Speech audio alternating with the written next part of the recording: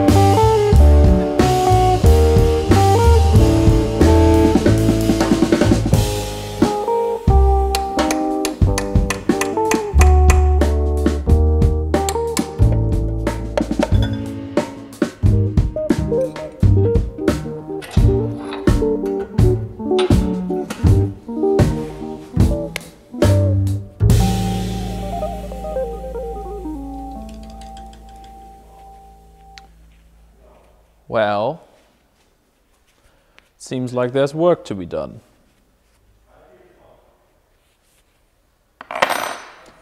Some other day.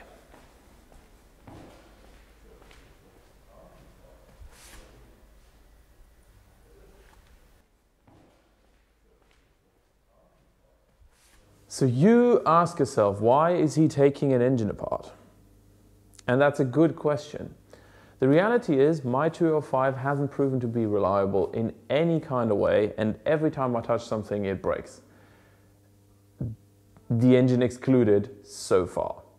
So because I got a spare engine with the car, I decided to take it to pieces now and see what's what so that I can slowly work my way towards having a spare engine sitting around. And lucky for me, even though this looked like a complete boat anchor, it is actually not too bad. The, um, the journals look fantastic. All the bearing shells are worn, but they're still the originals and nothing's ever spun. The block has a bit more corrosion on the water jackets near the uh, near the piston liners than expected. And those pistons and, and liners need to be replaced. And the one thing missing from the table is the camshaft. But none of that really matters because this is a long-term project and I only wanted to show you how I take it apart. And now I have to find a place to store it all, which luckily coincides with me having a bit of a need for some engine components that have been lying around here for way too long. Anyway, let's clean this up.